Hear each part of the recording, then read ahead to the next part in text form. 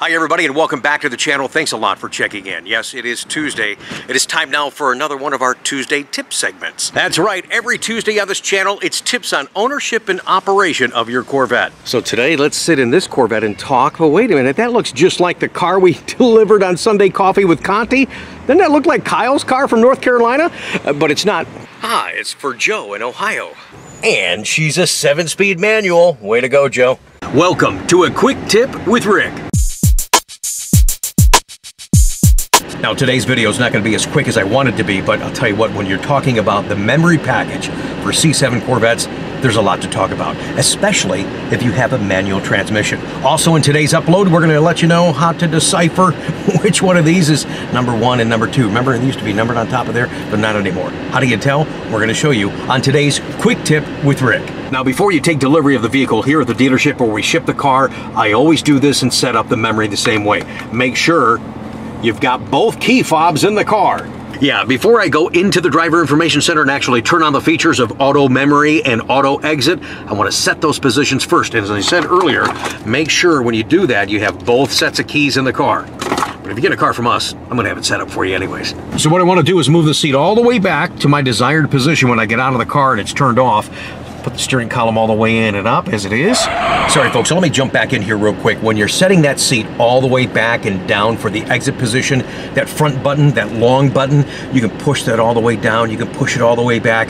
If you push it all the way back and all the way down, there's a chance that you'll be so far back that when you get back into the vehicle, it's not going to communicate and the memory package is not going to be acknowledged. So once you are all the way down and all the way back, what I want you to do is take that long button, move it up just a touch, and move it forward just a touch. I mean, literally about that much, up and forward just a bit.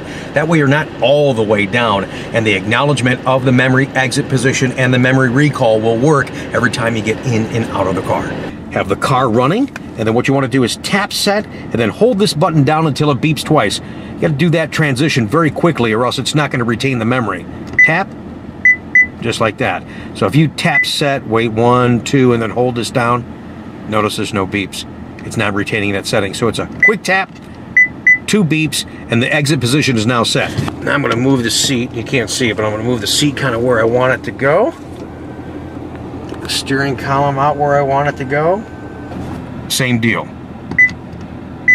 That's memory one. Now I'm gonna set memory two all right, I'm setting memory two at a much different position just for the, for the vlog. Look how close I am. Quick tap, hold to the beeps twice, now I'm set. Now for all that stuff to work, you have to go into the settings and turn it on. So go into settings, scroll down to vehicle, go to comfort and convenience, easy exit options. You can see that it's off. I'm gonna simply hit it and turn it on. I'm gonna come back, I'm gonna go to auto memory recall, I'm gonna turn that on, and I'm ready to go. Okay, by doing that, when I turn the vehicle off, when I open the door, the seat will go back, steering column will go in.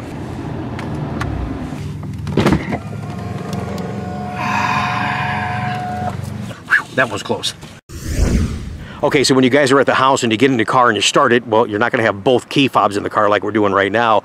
So you got to find out who's fob number one and who's fob number two. For this demonstration, I've got to get the other fob and keep it far away from the car. Far away from the car.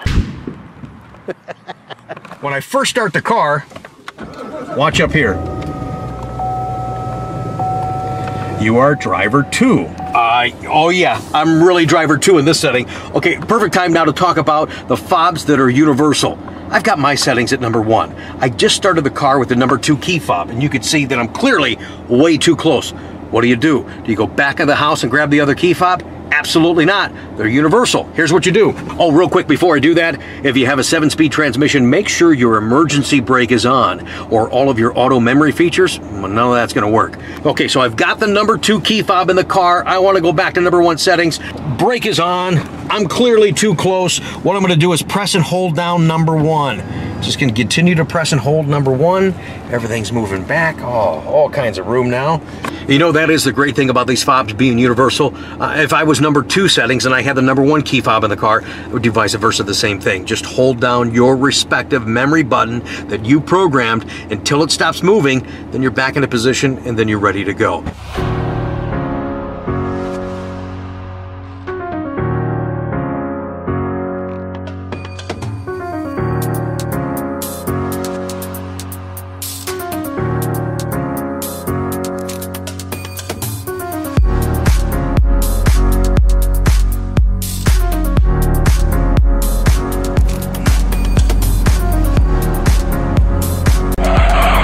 Okay guys, sorry, one more interruption. I think it's important to reiterate, you don't have to push and hold down that memory button to get the seat back into position. That's only if you grab the wrong key fob or you're too short to actually put the clutch or brake on to start the car. If you've got those features turned on in the settings as I showed you earlier, once you start the car, they're gonna come back into position automatically.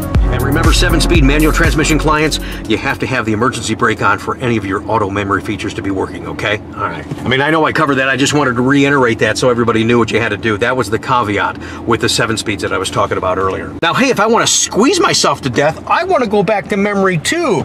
Press and hold. Here we go. Oh my gosh. Hold my breath.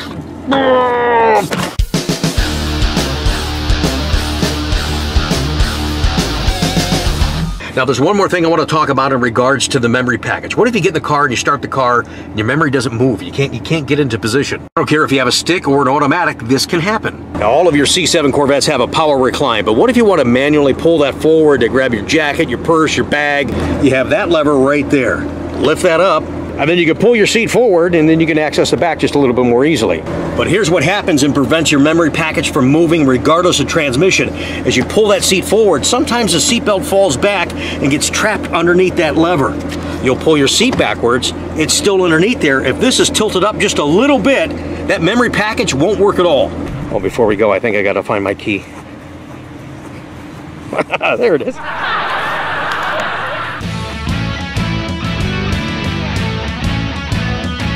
Well, folks, I hope you enjoyed the upload. I'm sorry it went a little longer than I intended it to be, but as you saw, there's a lot to talk about in regards to the memory package settings on your C7 Corvette. I'll tell you what, though, I'm having a lot of fun on these Tuesday tip segments. I do appreciate you guys checking them out. And hey, don't forget, thanks to our friends at Michelin, on this channel, you have an opportunity to win a set of all-season tires for your C7 Corvette. There's a link down below to that particular video that says win a set of tires. Make a comment in that video before the 31st of this month, and you might just win yourself a set of all season tires for your Corvette.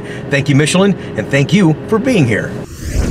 Now, before I give you the typical YouTube doodah, just want to remind you next Tuesday on a quick tip with Rick, along with our Corvette technician Chuck Metz, the C7 Corvette's been out for a while. We're starting to see this problem pop up. I'm going to show you what it is, how to fix it right here on our Tuesday tip segment. Okay, now we can do the YouTube doodah. and it's important to do because I take it serious and I do appreciate your support. So subscribe to this channel if you haven't already. Thumbs up this video, leave a comment down below because I love hearing from you guys. And our next upload is going to be on Thursday. And we're just, it's just a, no, it's a quick one. It's just silly and having some fun. That's what it's all about, man. I'll see you on Thursday.